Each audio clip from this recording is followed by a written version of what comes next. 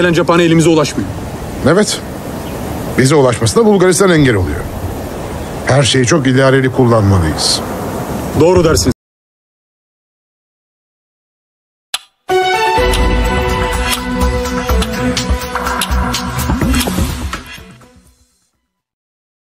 engel koymak hiçbir demokratik anlayışa sığmaz.